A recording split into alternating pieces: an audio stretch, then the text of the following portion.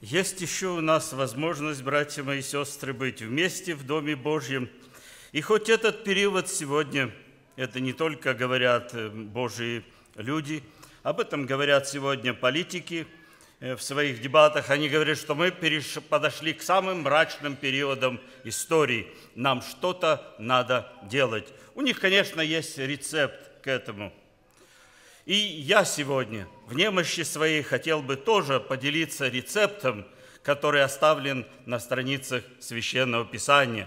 Но прежде чем мы начнем говорить о Божьем Слове, я хотел бы сделать несколько заявлений. Никогда не поздно.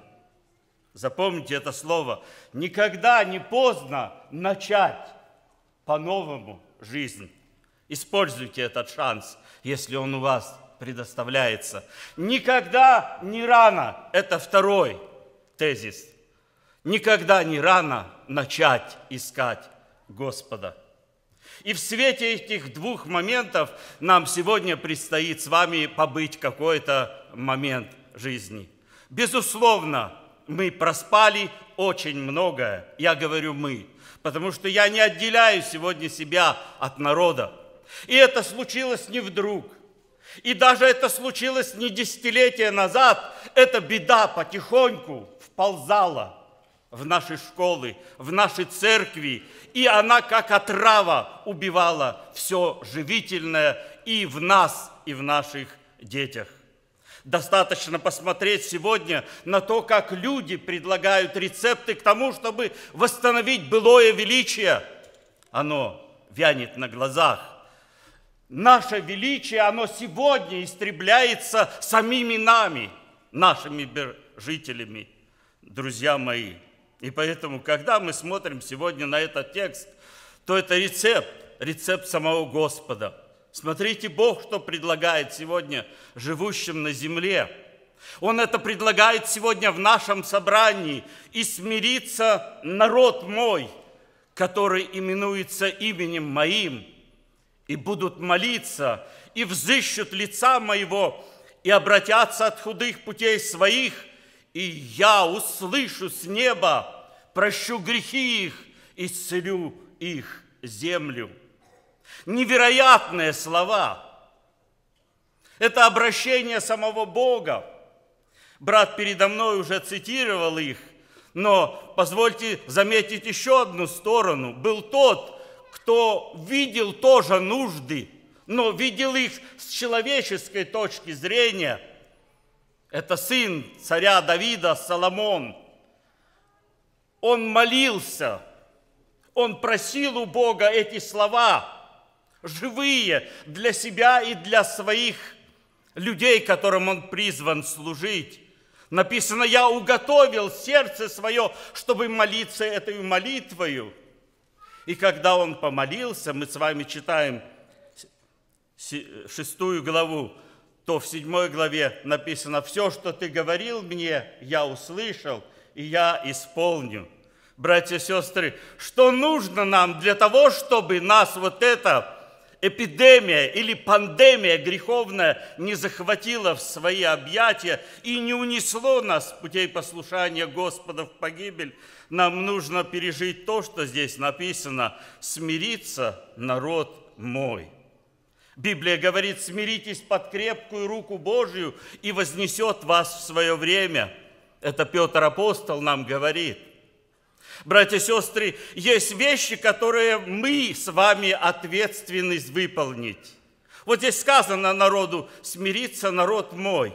Не потому, что его заставили, но это воля, добровольное волеизъявление, желание сердца человеческого сказать дальше, больше, так невозможно. Нужно что-то делать, и человек смиряется пред Богом. Если человек ожесточается, случается то, что когда-то пережил очень величественный, могущественный царь Вавилона Навуходоносор. Когда он гордый, от всего того, что он пережил в своей жизни, прохаживался и сказал, это ли не то, что построили мои руки? И услышал голос в тот час, как только надмилось его сердце, царство твое отнято от тебя. И вы знаете, что этот сказал по прошествии семи времен? Он сказал, Бог силен смирить ходящих гордо. Если мы сегодня не смиряемся, если мы сегодня, имея возможности, когда Бог говорит к нам, не смиряем свое сердце, Бог начнет нас смирять.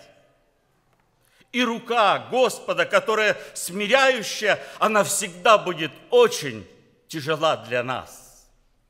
Поэтому, когда мы смотрим, братья и сестры, путь к восстановлению, к возрождению, он зависит от этих слов. Смотрите, книга пророка Исаия, 57 глава, 15 стих. Опять же, слова самого Господа Бога. «Я высокий, превознесенный, вечно живущий, чье имя святой. Я живу на высоте, святом,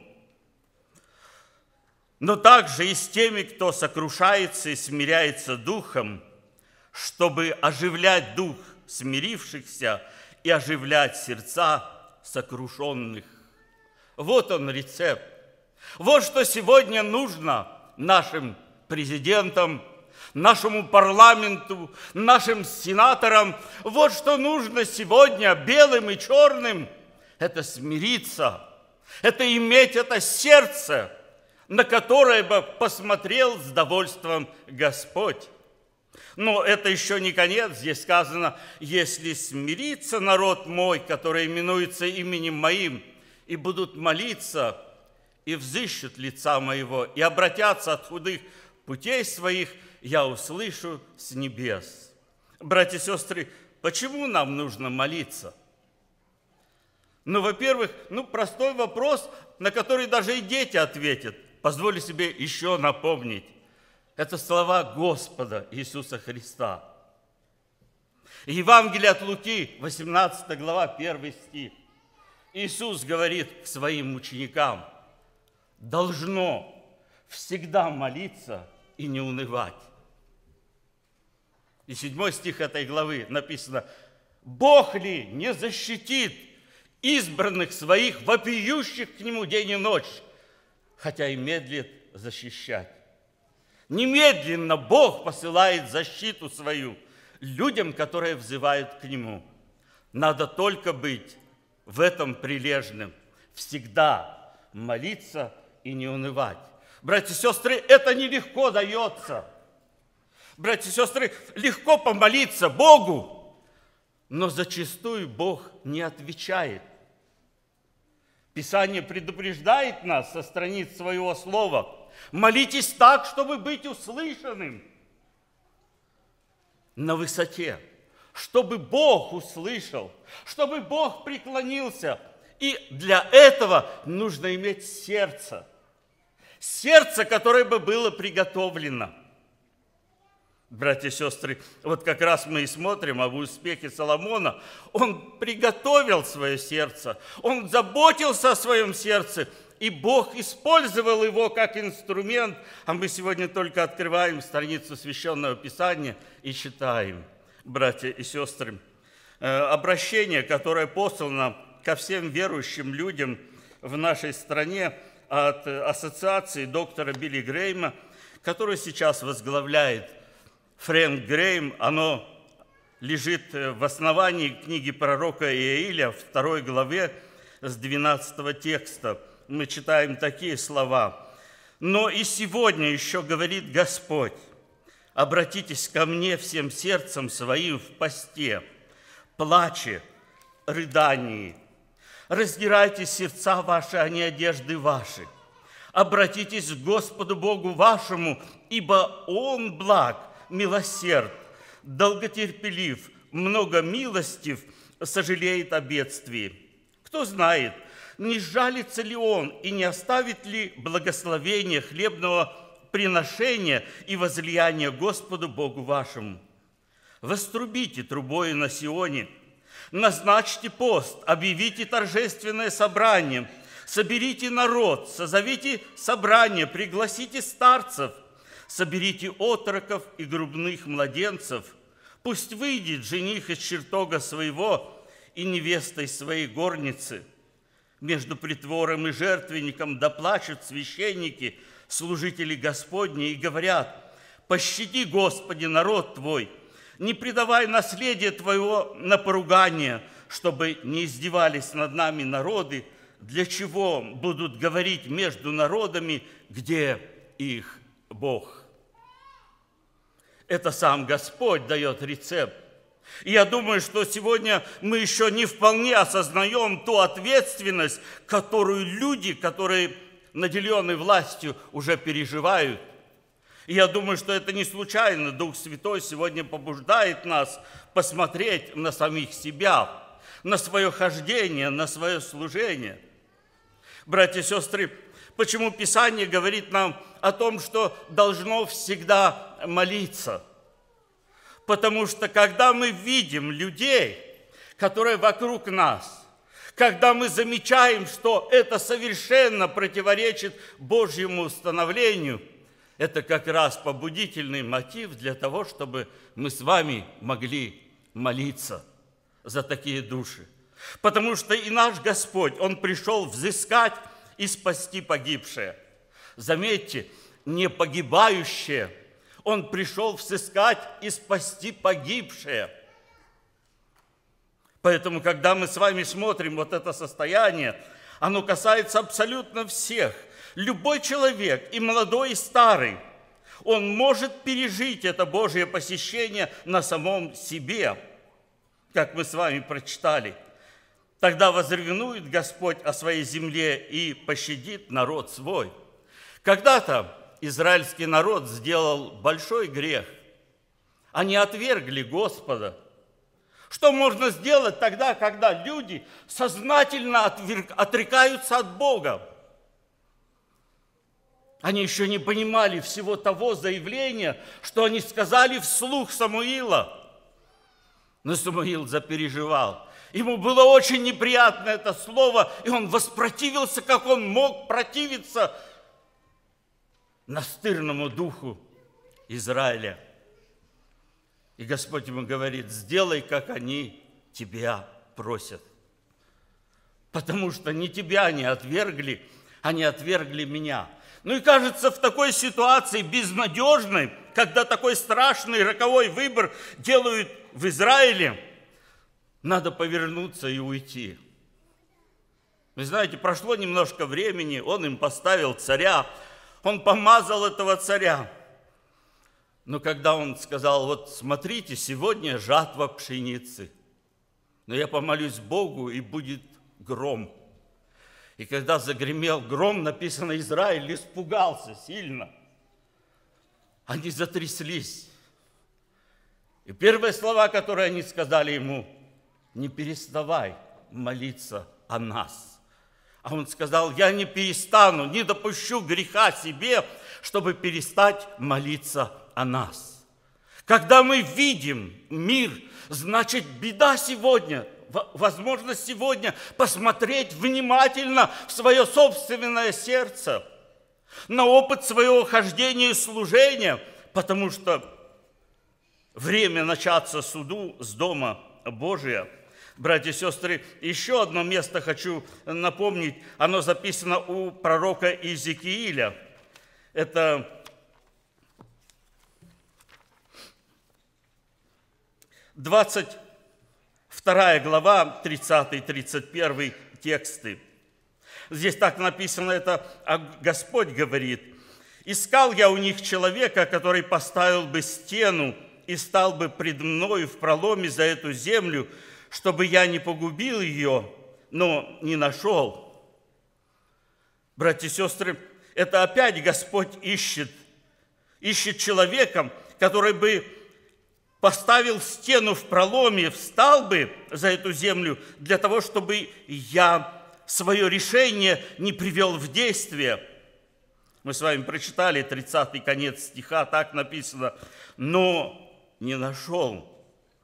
Итак, и залью на них негодование мое, огнем ярости моей истреблю их, поведение их обращу на их голову, говорит Господь. Это опять открывается нам Господь как любящий, как весьма милосердный и сострадательный. Братья и сестры, Позвольте немножко сказать. Если бы сегодня я мог прочитать всю 22 главу, наверное, у некоторых из нас зашевелились бы волосы на голове. Перечень тех грехов и мерзостей, которые были в народе Божьем. И казалось бы, ну скорей, сотри этих нечестивых с лица земли. Но нет, Господь выступает опять, и Он что? Ищет, ищет человека, который бы мог встать в проломе. Вы помните, таким человеком когда-то оказался Авраам, друг Божий. Господь посетил его. Господь поделился с ним сокровенным и говорит, иду в Содом. А Лот вспомнил, а в Содоме живет его племянник Лот. И уже не живет, а уже сидит у ворот. Сидит, это значит, у него было очень большое положение и вес среди этого народа. И запереживал Авраам.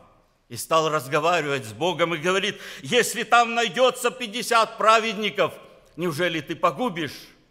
С нечестивыми, Господь говорит, ради 50 не погублю но там даже и десяти праведников не было. Но Авраам стоял пред Богом и молил. Немая молитва без слов, она неслась к Богу. Там мой родной, племянник мой. И Господь не остался глухим к нему. Написано и было, когда Бог не спровергал города Содомские, Гоморские, вспомнил Бог об Аврааме, а вывел – из Содома его племянника Лота.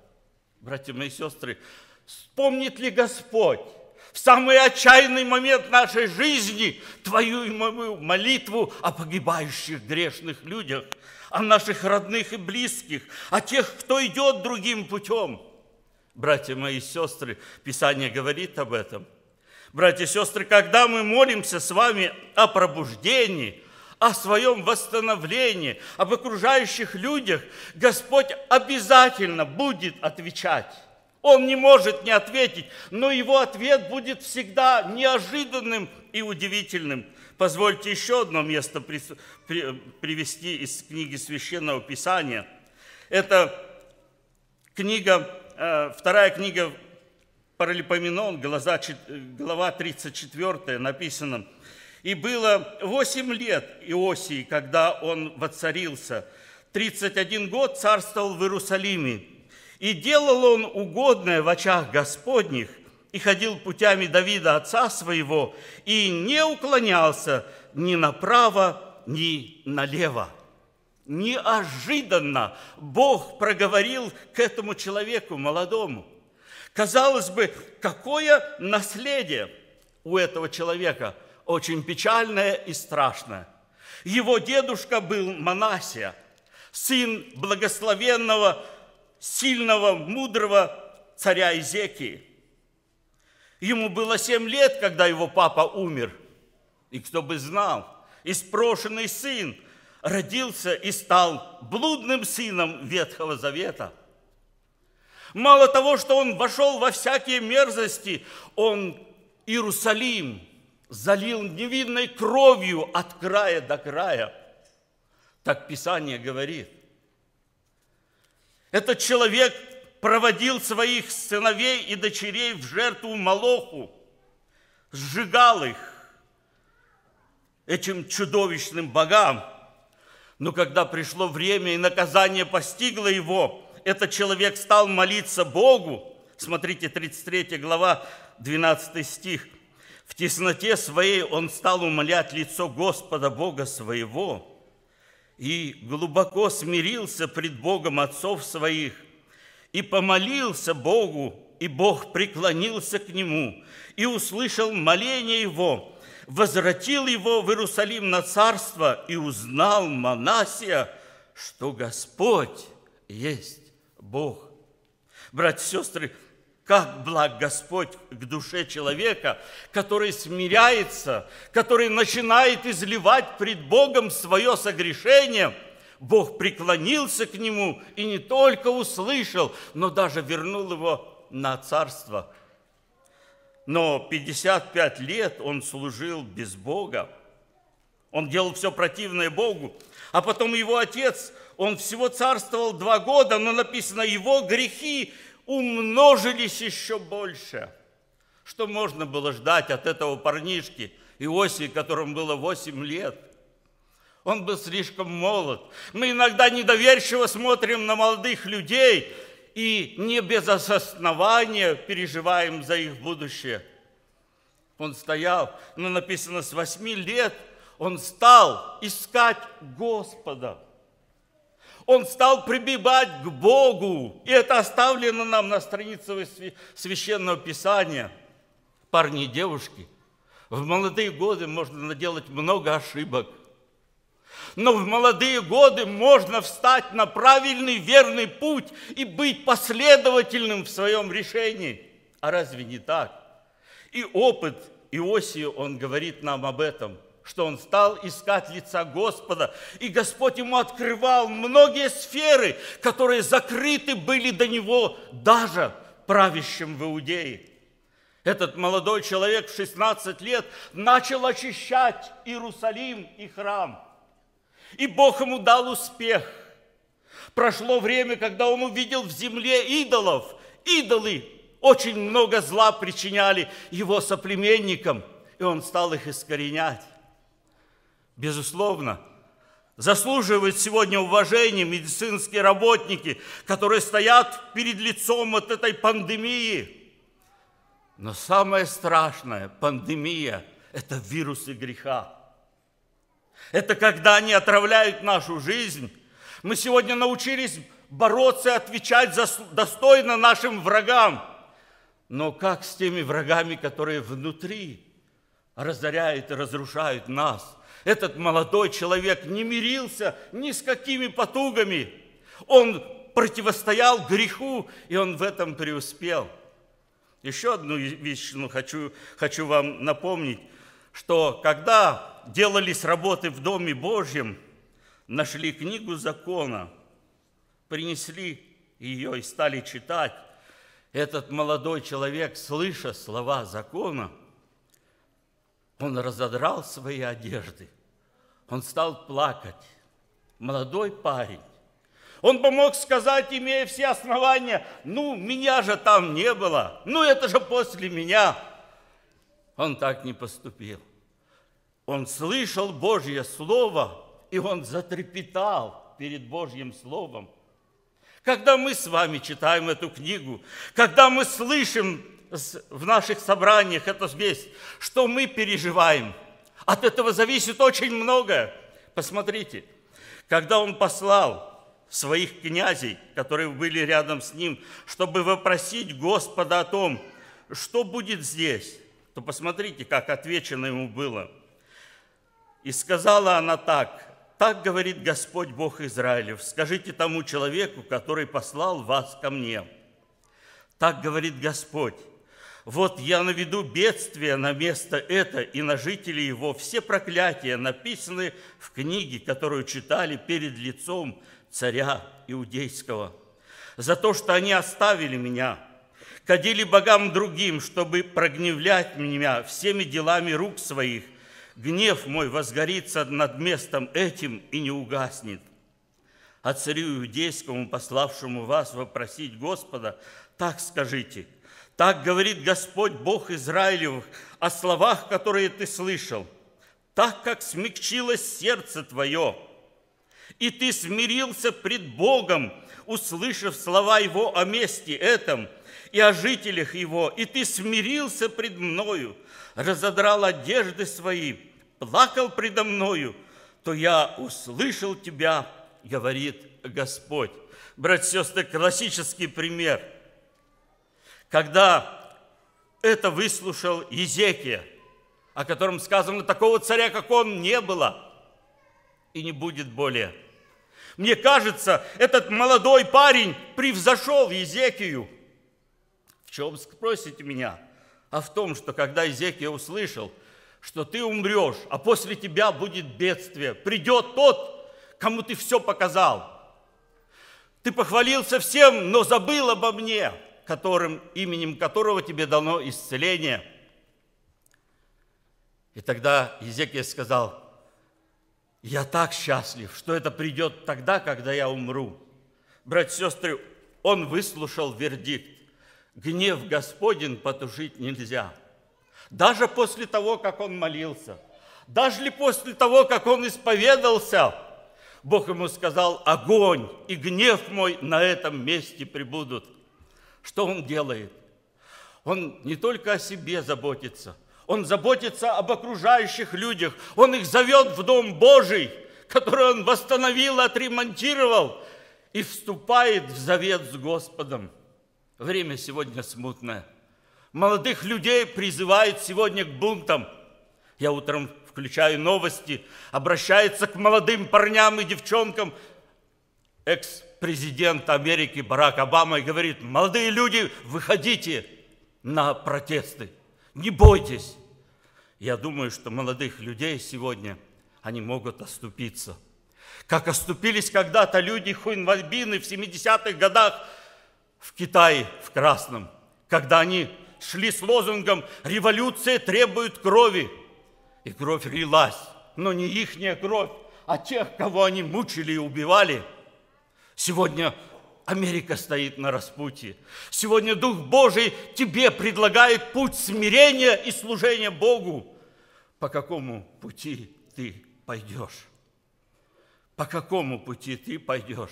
Изекия знал, куда идти. Он с восьми лет прибежал к Богу и искал лица. И когда он состарился, пришел к зрелому возрасту, он решил не отступать. И когда он стоял впереди всех, и люди смотрели на него, он говорит, я вступаю, Господь, Владыка, в завет с тобой. Никогда не приступать твоих повелений, а потом обращается к тем, которые стоят перед ним и вокруг него, и говорит, сделайте это, но сделайте от чистого сердца. Дорогие мои друзья, если вы никогда не говорили Богу, если вы никогда не следовали за Богом, почему в это время когда так легко оступиться и потеряться, вам не встать на сторону послушания Богу. Посмотрите свою сегодня жизнь внимательно, сколько грехов. У нас с вами достаточно много того, что гневит Бога. Но Бог говорит, я сегодня тебе предлагаю путь, смирись, взыщи, начни молиться, и я буду найден тобою. Да поможет тебе Господь использовать это время. Последний момент. Что мешает нам быть услышанным в нашей молитве? Грех. Псалом 65, 18 стих. Давид говорит, «Если бы я видел беззаконие в сердце моем, то не услышал бы меня Господь».